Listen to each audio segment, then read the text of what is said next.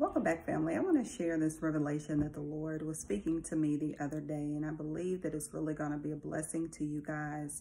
Um, the Lord was showing me this. You know how you make a cake, and for those of you who who bake or you've seen other people bake cakes like this, so you poke holes after the cake is finished baking, so that when you pour the icing or um, some type of sweetness, it can go down inside of it. And God was showing me this in just a random moment throughout the day. And I praise God for those moments of revelation when he does that. But he was saying this, that a lot of you, thank you, Lord, a lot of you have been through these piercing moments in your life, just like that cake, okay?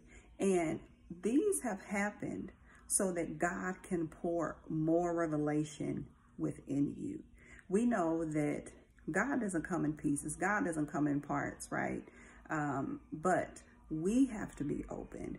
We have to uh, be pierced and pricked in these ways to allow more of him to be developed, to be poured within us so that we can walk in more of who he is, really, more of who God is. And remember, walking in more of who God is, it shows up in various ways. Yes, we tend to think of it, it shows up in ways of uh, the laying on of hands or of healings, of deliverances, those types of things.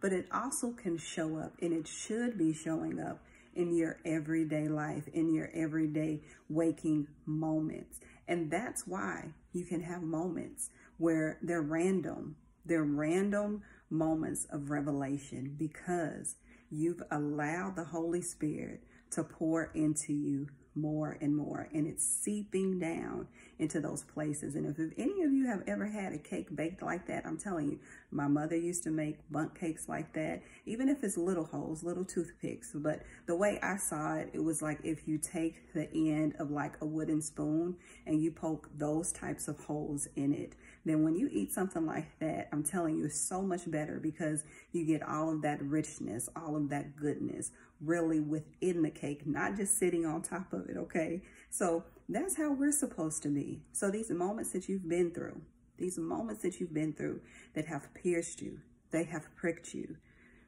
it's necessary. It has been necessary so that the Lord can really pour more revelation, more of the sweet goodness of who he is within you. All right. I pray that you receive this word. It's a beautiful word.